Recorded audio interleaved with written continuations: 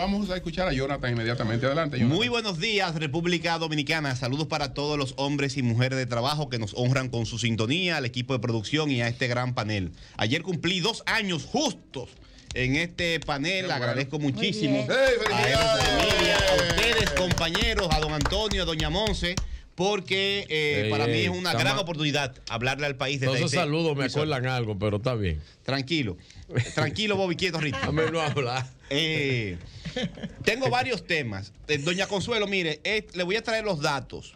Los pobres de América Latina, uno de los nichos importantes de la pobreza, tienen un problema de obesidad pero no porque, no porque eh, y no porque le falte comida, porque obesidad es la mala alimentación. Las principales víctimas de la industria de la venta de comida alta en azúcares, sales y grasas saturadas son los pobres que no tienen quien los defienda. No es que tengan que comer cosas eh, light, pop. Es que hay una cosa peor que víctimas. Hay algo peor que eso. No, hay algo. Lo que yo planteo. no, no. Medio. Yo lo que planteo que hay algo peor que eso. Eso está mal. ¿Qué descubrió la industria? ¿Tú sabes lo que está peor que eso? No tener comida. Haití, las hambrunas no, pero se puede combinar. Ah, bueno, se puede. Se puede. Pero no me hables solamente y con, y de la calidad la producción de la, local de, de la comida, que esos son delicateces. No, no es delicateces.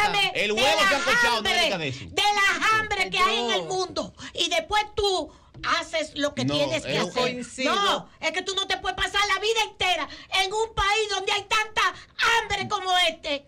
¿Eh? Y como tenemos unos vecinos promoviendo la, la, agricultura local, la agropecuaria, el, los embutidos, la carne, eso los es no la carne, los de huevos, gente rica. los víveres, eso no es de rico, Yo el no huevo de rico. Que coincido con la luz y contigo en que hace falta mucha educación, porque sé de casos donde la, la, persona, la dueña de la casa, compra las frutas, naranjas, digamos, para sus jugos naturales, con disposición a que la empleada los tome así, no, pero ella prefiere una marca tal de ese jugo de naranja que viene en cartón o en otro envase. Y Mire, ¿cuál, ¿cuál es el principal problema? El principal problema el principal es problema es la hambre. No, el principal problema, el, ustedes son, ustedes son poetas. No, poetas el no. El principal problema es el hambre. El 20%. El de Haití, el de Haití, el principal problema, dijo la ONU, es la hambruna. Me, pues sí, pero no, en Haití bebe más refresco que en cualquier parte. ¿Y qué? Ese no, el, este, con este agua no lo resuelve. Es problema. Con agua lo resuelve. Este no, no, no es problema. refresco. Ah,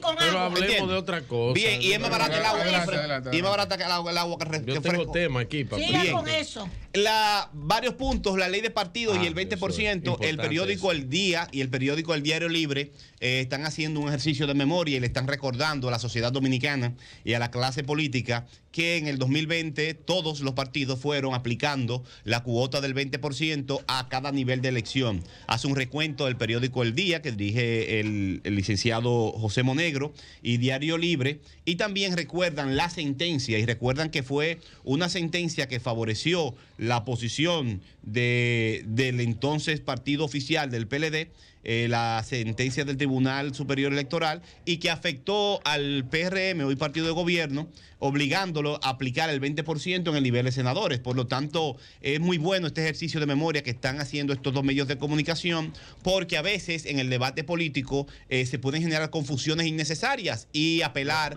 al olvido. Lo, lo están haciendo al mismo tiempo.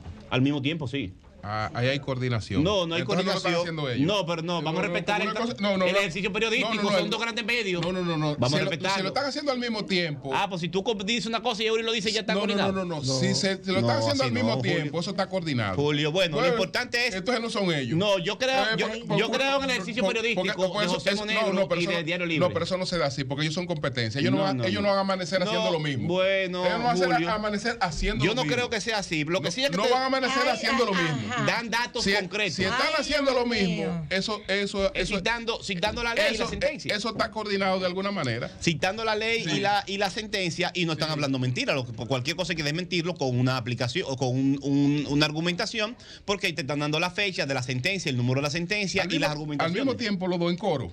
No sé si es coro o no. ah, caramba. Los dos igual. bueno, igual. Bueno, al punto ah, que voy es que ah, la eh, sentencia es muy clara y aplica y aplica y manda hasta la tabla, como decíamos ayer, de los niveles de elección en cada sector. Ahora, ¿qué me, ¿qué me, llama la atención? eh, ciertamente he visto a Danilo Díaz y a José Dantes del PLD haciendo afirmaciones de que esta aplicar la ley, aplicar la sentencia, es favorecer a uno u otro sector o al oficialismo de otra parte. En el Frente Amplio también se apoya la, el 20% por nivel de elección, como dice la sentencia y como dice la ley. Eh, y en ese sentido, creo que hay que eh, tomar con pinzas y sacarlo de la conversación estas argumentaciones que buscan generar una especie de chantaje social político. Ah, no, si se hace como dice la Junta, aquí puede haber inestabilidad política. Que la Junta no hizo un consenso, eh, un consenso eh, del nivel que se necesitaba para poder aplicar esa resolución. Y si no se hace el consenso, si no se hace como decimos nosotros, aquí puede haber ingobernabilidad, inestabilidad política y falta de legitimidad del órgano rector del sistema electoral de República Dominicana. Eso es chantaje, infantilismo y lo mínimo que le puedo decir los consensos, primero, la, Junta es el órgano rector del sistema electoral.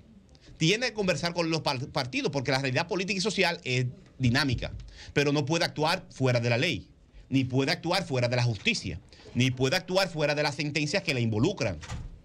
Entonces, un consenso político tenemos que dejar de decirle a los medios de comunicación, para mí lo que más me entristece es que el, mal ejemplo que se le da a los, jóvenes que se pueden hacer acuerdos políticos violando la ley. sáquense eso de la cabeza. En democracia, usted ganó o perdió. Y si perdió, no puede decir que le va a romper la mesa. Quítese eso de la cabeza. Que es una actitud antidemocrática. Usted no está de acuerdo con una decisión, una resolución, vaya a los tribunales, pero no amenace con que usted le prende fuego al país. O con que aquí no va a haber elecciones. O que se acuerde lo que pasó en febrero. No. Eso es infantilismo, chantaje, lo mínimo que se le puede decir a eso. Y un muy mal ejemplo a la ciudadanía. Usted tiene de los mejores abogados formados durante 20 años por ustedes, especialistas del más alto nivel, vayan al tribunal. Vayan al tribunal, que fue el tribunal, no el que dijo que debe aplicarse por nivel de elección, sino que le mandó por escrito una tablita y le dice, para senadores tanto, para diputados tanto, para regidores tanto, y bururum bararán, como decíamos ayer. Vayan al Tribunal Superior Electoral. Es su derecho y tienen especialistas del más alto nivel. Pero saquen, dejemos, porque ha pasado varias veces, pasó el otro día con otro tema en el tapete, el chantaje de que si no lo responden como usted quiere, hay ingobernabilidad. No, hay que dejar esas, esos fantasmas del pasado, hay que dejarlos en el pasado, porque han sido superados. Y además un mal ejemplo hasta para los jóvenes de su partido. Así no reacciona un liderazgo político responsable. Usted quiere que una decisión explote la resolución en los tribunales, usted, si usted tiene la razón. Porque abogados buenos le sobran. Pero vamos a dejar ese, chantaje.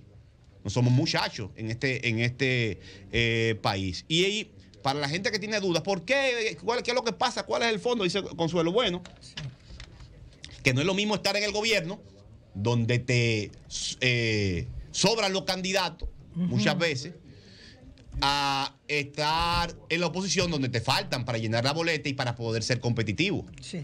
Si tú tienes un partido que la cúpula del partido se puede reservar la mayoría de las candidaturas importantes, que no la manda primaria, ahí el partido puede decir, bueno, vamos a darle las candidaturas al que tiene dinero y puede competir. ¿Cómo? Pero si no te puedes reservar toda esa candidatura, tú tienes que hacer proceso para que gane el que pueda ganar. Pero ¿qué pasa? ¿Qué pasa? En muchas provincias no siempre se tiene el candidato con el poder económico para ganar. Pero si tienes compañeros que tienen 20 años en el partido. Si tú pones a alguien nada más con cuarto y con un chin en la estructura, quizá alguien con tradición en el partido puede ganar. Y le puede ganar al poderoso y no tendría, tendría la candidatura, pero no tendría los cuartos. Pero es difícil. Es difícil. Entonces, ¿qué es lo que se genera? En los derechos electorales no son de los partidos. Los partidos no son los sujetos del derecho electoral, del derecho al sufragio.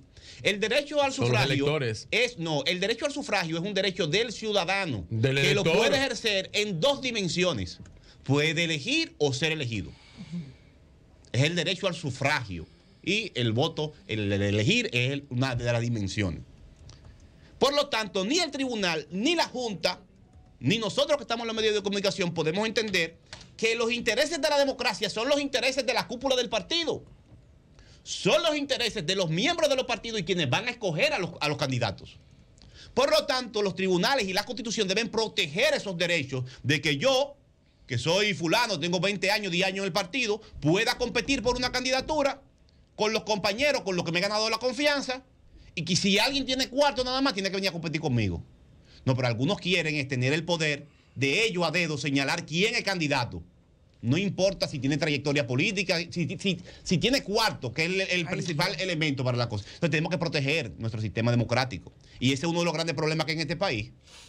Que aquí, ahora mismo, es más importante en la política tú tener cuarto que tener trayectoria, formación y demás. Es verdad. Ah, criticamos que en el PRM hay candidatos y funcionarios que están vinculados con el narcotráfico y diputados. Es cierto, en diferentes partidos hay acusados. Y en el PRM hay más. Yo no sé si hay más.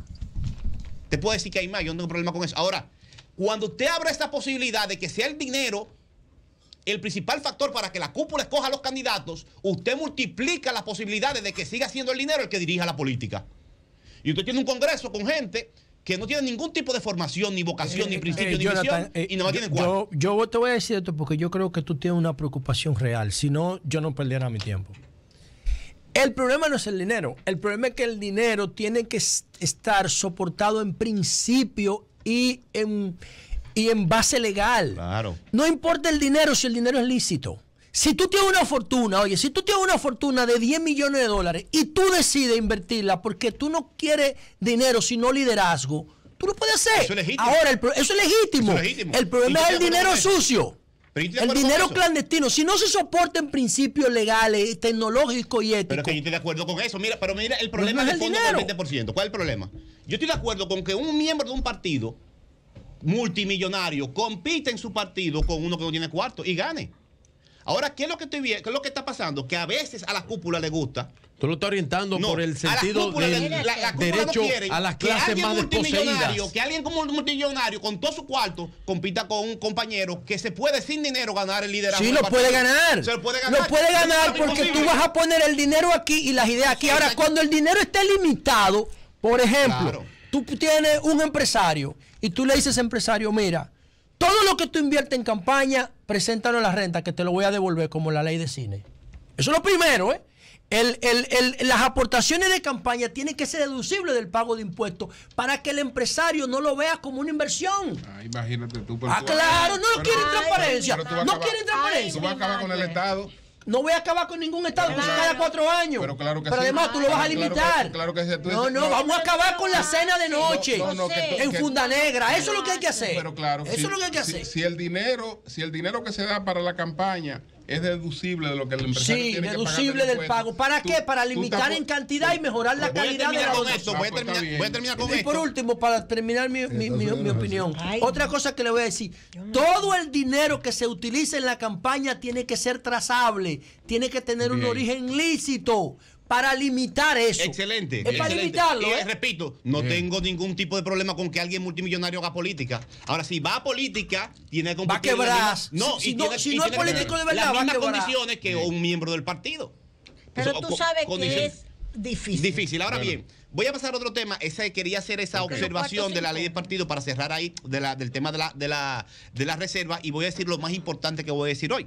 Y es que viene la noche larga de los museos, el 18, el jueves 18, es la celebración del Día Internacional de los Museos.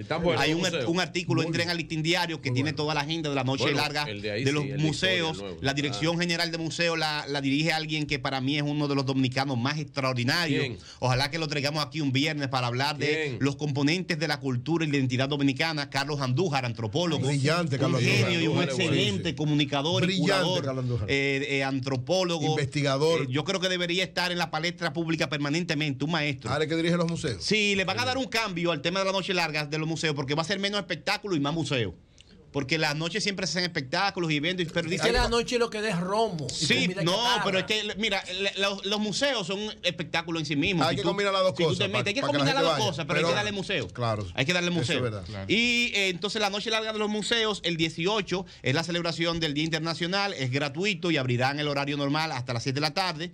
Y la noche larga de los museos, un evento gratuito, tendrá lugar del viernes 19 al domingo 21, de 10 de la mañana a 10 de la noche, excepto el domingo que será hasta las 6 de la tarde. Ah, en la Plaza de la Cultura será el centro de los museos. En la zona colonial habrá algunos eventos, pero por un tema de unas construcciones también estarán limitados. Pero en la Plaza de la Cultura, todos los museos estarán en este horario del 19 al 21, 10 de la mañana, 10 de la noche, abiertos con exposiciones especiales para esta jornada. Vayan con su familia, con sus hijos, para que conozcan los componentes básicos de lo que es la dominicanidad y lo que es nuestra cultura y nuestros recursos naturales. Cambio fuera.